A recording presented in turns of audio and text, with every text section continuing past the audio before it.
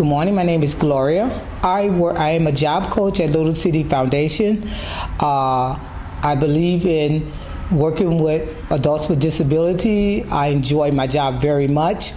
Uh, our mission is to have a safe environment for the participants to come in and feel comfortable with their lives and able to go to work each morning. This is what I do. I transport them to Northwest Community Hospital.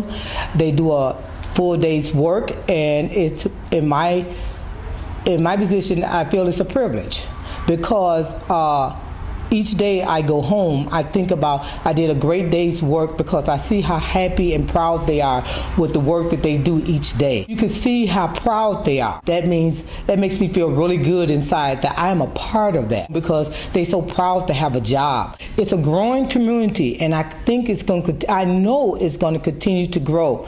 The guys are very proud of their jobs, and we have jobs all over the community for the participants, and they look forward to going work to work every day if we had everyone so excited about work, can you imagine? This community here is safe for them, it's clean, it's growing. We have employees that care, and hope, I want. This is the place that I'm very proud that I picked, chosen to retire because I can go home at the end of the day and say, this is a good job. This is a good deed. This is what I enjoy doing, making little city participants happy.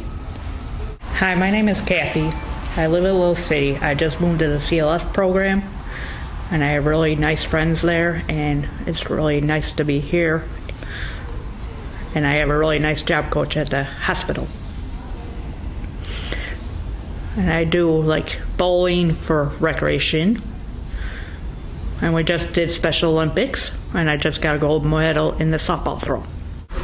I don't know what I would do without Little City. I appreciate what everything that people do for me here. I'm Monica. I've been working with Little City about four and a half years now, and I love that they provide me the opportunity to work so close with these individuals. They provide so much enjoyment between the individuals and the other coworkers that work at all these places, and I just love being part of it because I can see every day I come in, and it's such a joyful thing for me uh, to see all the differences that I make in these people's lives, and they provide a lot of enjoyment for me as well. At Little City, we have so many different opportunities for the individuals to get involved. Um, also, here at Little City, we do have an art program. Uh, there's a lot of the individuals that I work with, uh, they're involved with it. They do some really great work. It's from anywhere from drawing to painting to working on the computer uh, to working with clay and pottery and they're also involved in some art shows which are either local or even internationally as well. Hi, my name is Darlene. Um, I worked here. I work here in Little City for 15 years. This year in July. Um, Little City is a special agency. What I like most is Special Olympics. Seeing our residents get on the field and achieve a gold medal or bronze or silver, they enjoy it. Just to see the excitement on their faces just lights up your world. Hi, my name is Sierra Craig. I'm a adult at Little City Foundation. The programs that I like here are clay pottery, the art program. I know the art program is really big and I've been in it for about three years now. And I've also sold some clay pieces that I have made in pottery. And I've made a lot of friends that I, you know, never thought I would be able to talk to and be comfortable talking to.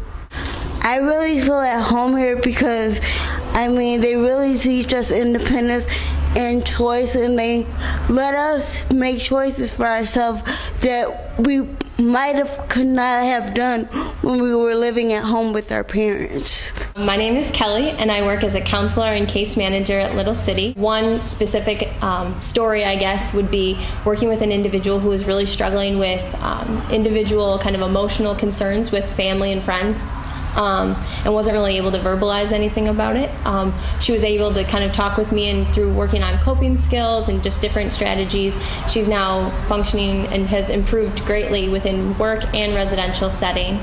Um, and yeah, I mean, her friends have even helped, and they were the ones that stepped up and said, you know, she was having these concerns, um, and for me to talk to her. So it was nice to have kind of that community of her friends looking out for her, and it is. They're all friends, they all get along, um, and I think it's a really good opportunity for people with developmental disabilities to be able to have this sense of community and friendship um, within the living and work setting. So I think that that's a really good um, opportunity for them. So I think that that's a really good um, opportunity for them. Okay, great.